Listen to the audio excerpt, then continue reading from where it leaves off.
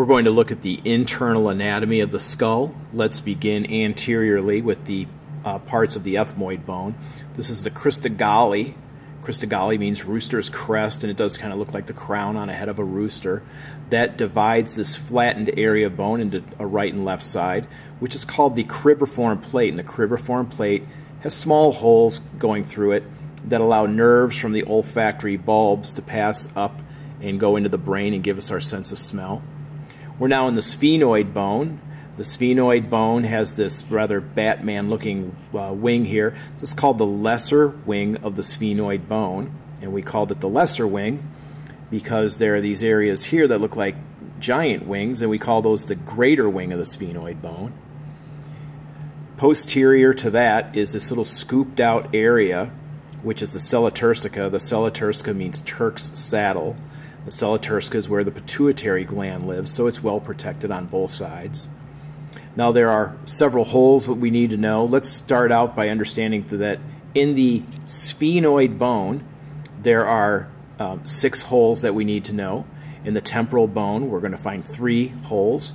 And in the occipital bone, there are going to be two holes that we need to know. Let's begin at the front with these, they're running on a diagonal to the back of the orbit or eye.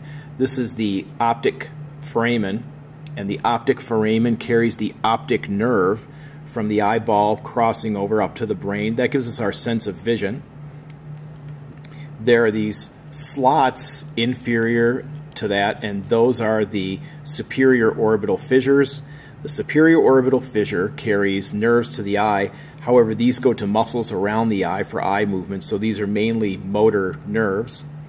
And then in a row, there are the these three little holes here, and then another one on the medial to those.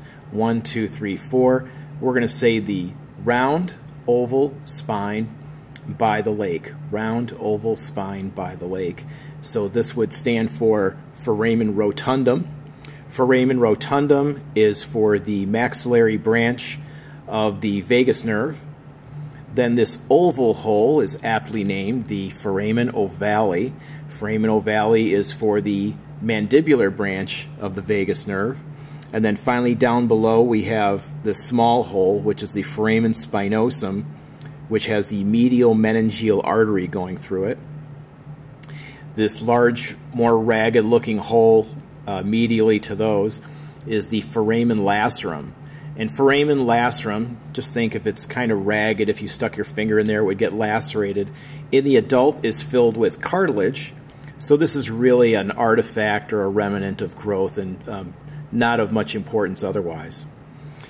This is the petrous process of the temporal bone, and there would be a hole that's not well demonstrated here, but this would be the carotid canal. The carotid canal is for the internal carotid artery, and we know carotids and jugulars go together, so below that is the jugular foramen, and the jugular foramen is for the internal jugular vein, the glossopharyngeal, vagus, and accessory nerves. And then I'm going to do this on the other side. Through the petrous process, there's another hole called the internal acoustic meatus. And the internal acoustic meatus was for the facial and vestibulocochlear nerves, now, even though there's an external acoustic meatus, this does not go through all the way. There's a partition of bone between those two holes. And then finally, at the base, at the occipital bone, we've got our large foramen magnum, and then running through the base of the occipital condyles is the hypoglossal canal, and the hypoglossal canal houses the hypoglossal nerve.